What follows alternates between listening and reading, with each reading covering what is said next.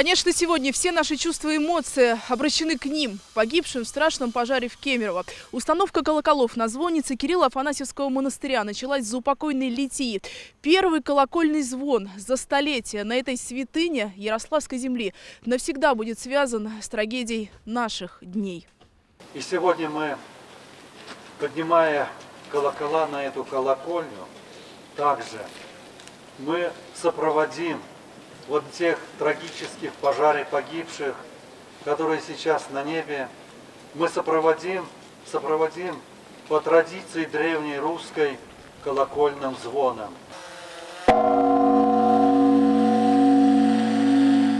Такого звона здесь не слышали с середины 30-х годов прошлого века. Тогда колокольня монастыря была просто разрушена, а сам храм закрыли.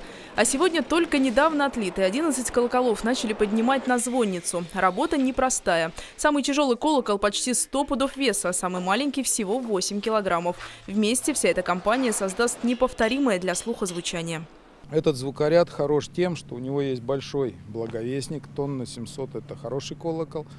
Вот. И тем, что это полный звукоряд. Там уже нет такого промежутка, куда еще можно вставить колокола. Создавали колокола у нас в Ярославской области на Тутаевском колоколо-литейном заводе исключительно по древним традициям. Рецепт создания идеального звучания и формы искали почти 6 лет.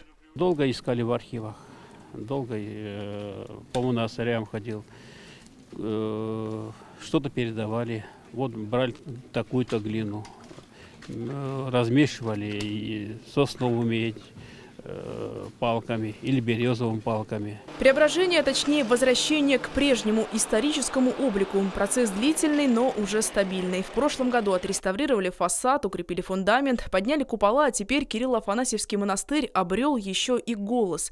Такая активная реконструкция во многом благодаря поддержке губернатора Ярославской области Дмитрия Миронова практически весь облик мы да, сохранили, да, да, исторический да, облик. Да, да, да. Вот эти ворота восстановили, тоже можно выйти посмотреть, они уже стоят. Сохранили не только исторический, но и духовный облик этого места в самом сердце Ярославля. Колокольные переливы. Горожане и гости столицы Золотого кольца услышат уже на Пасху. Любовь Цветкова, Денис Лосев. День в событиях.